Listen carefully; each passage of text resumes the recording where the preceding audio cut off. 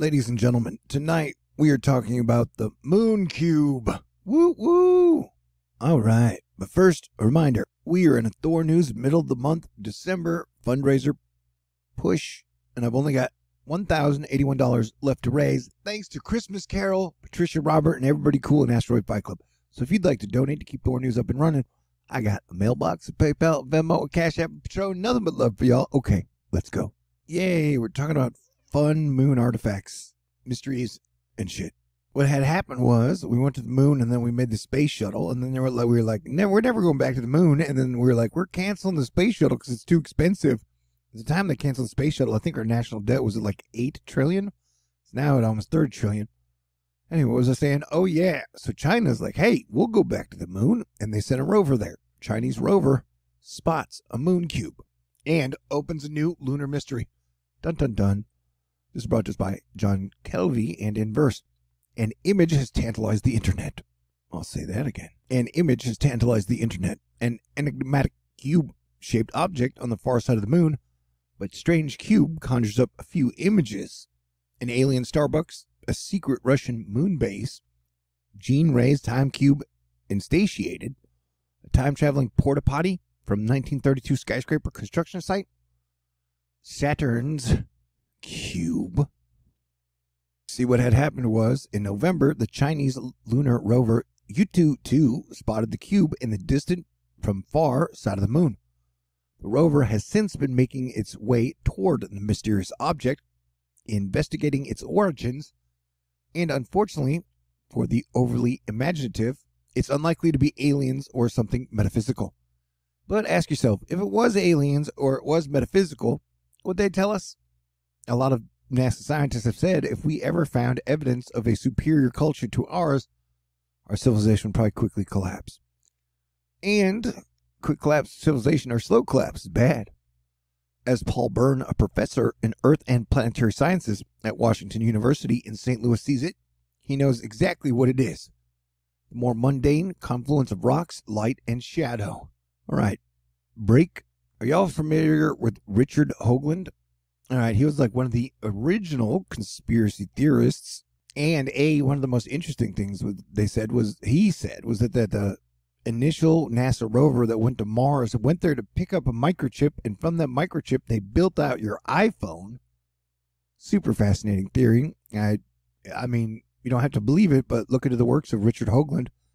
He's got some very interesting points, and you know, he said that like everything is car- compartmentalized and the lie is different at every level. I think we can all agree space agencies and what governments tell us um, are weird. You know, did cryptocurrency come from off-world aliens? I would say that as planetary defense commander, I would imagine we have some type of anti-gravity ion superior en- energy to what we use. Remember, the petroleum combustion engine was invented in like 1863. And so the idea that with all the technology we've done on the Moore's law curve, the idea that we've never come up with anything better than the combustion engine is freaking ridiculous. I mean, I, I imagine they have floating ships and cruise lines. You know, that, why do you think all the billionaires are getting into space? Um, if you want to attract all the super duper hot ladies, you know, take them up the upper atmosphere or I guess to the moon.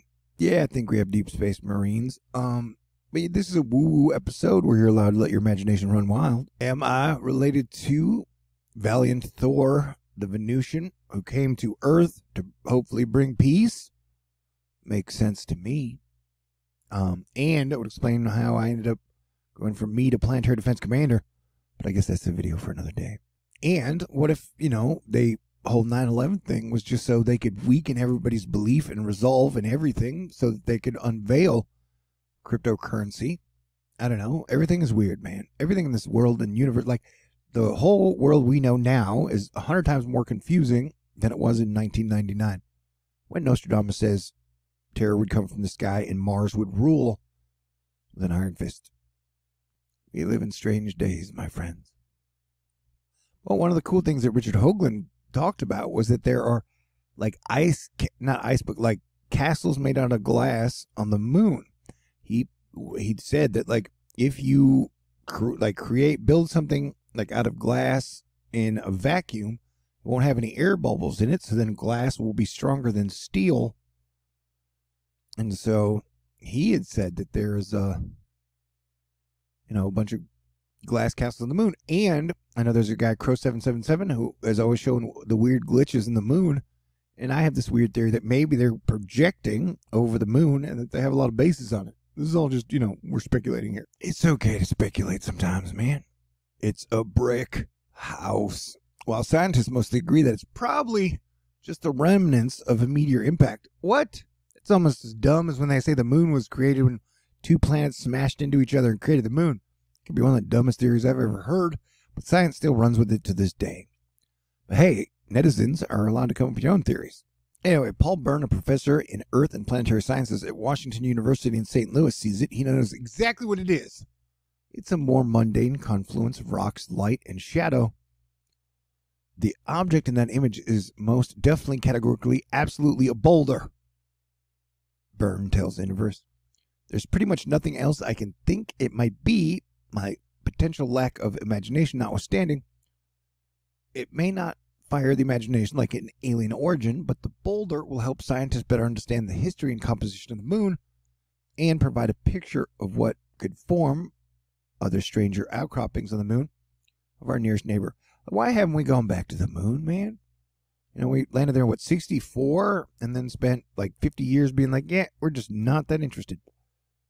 Burns says that better understanding the moon could help astronauts better learn how to better live off the land and utilize lunar resources as part of lunar outposts. The moon, the moon cubes cometh, but we'll be building them ourselves. So, what is the mysterious moon cube? China's robotic Yutu 2 lunar rover spotted a remarkably square looking gray object on the horizon on its 36th lunar day. According to reporting by Space.com, which translated an entry in the rover mission diary from the Chinese language website Our Space.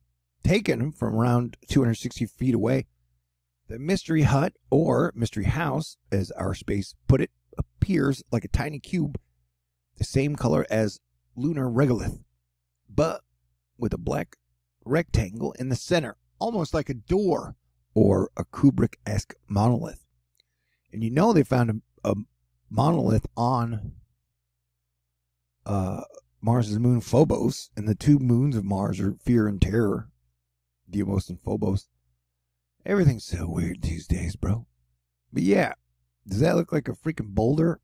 You almost looks like a Stonehenge type thing. Zoom on the picture and it becomes significantly blurry. Thanks for that information. But the overall impression of something well, disconcertingly square proportion remains. What? All right, I'm bad at English. That's a nah. I don't think it's a boulder. No way. Maybe it's a backdoor to Pluto. But while human craftsmanship tends to result in square angles and straight lines, not all square angles and straight lines result from human or alien handiwork. Byrne guesses inverse through a few scenarios, or guides, I'm sorry. I Forgot how to read and shit. This could be an illusion. Wait, I thought you were 100% sure, dude. Could be an illusion. What might why might it appear square or cubic? First, the image looks to have a pretty low resolution. Oh, thanks, buddy. Features at or beyond the horizon, so it might not actually be square. It might have just been forged that way by natural causes. Well, like the video before this one, I showed how boulders were made from volcanoes. So I don't know. I'm not really buying that. The most likely outcome is that the rover gets closer to the object. It will become apparent that it's just a boulder or multiple boulders that aliens stacked on top of each other, or extraplanetary pareidolia. Kind of like this face when they're like, "Hey, it's a face of a human being," and then they had to go there and tell us, "No, it's not." Remember how the you know things are so weird. Remember they're like, "There's water on Mars." There's no water on Mars. There's water on Mars. We found water on Mars. There's no water on Mars. Oh, things are crazy, man. Speaking of Valiant Thor, in 1976, the Viking 1 orbiter took a photo of a rock in the Cydonian region of Mars that looked an awful lot like a face. Humans are neurologically primed to see faces, reading faces being pretty crucial for human survival. So it's not surprisingly some people would see a face somewhere on Mars, but hey, it's still just rocks, light, and shadow. Yeah, uh, uh, I don't know. Meh, I don't know.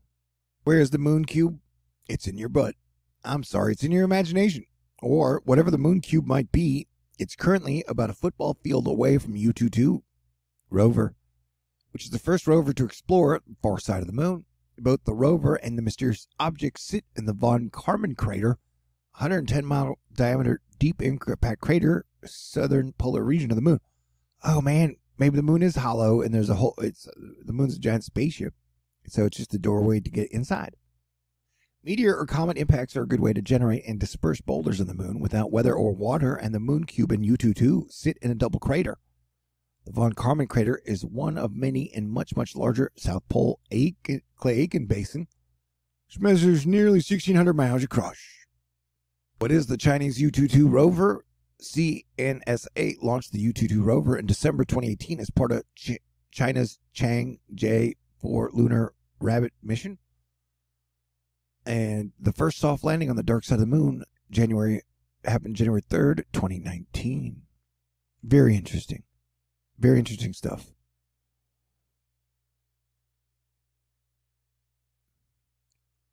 Very interesting stuff. So, yeah, what is it? Nobody knows. How soon will we learn exactly what the mysterious moon cube really is? Well, Yutu 2 is an impressive instrument, but it's not built for speed.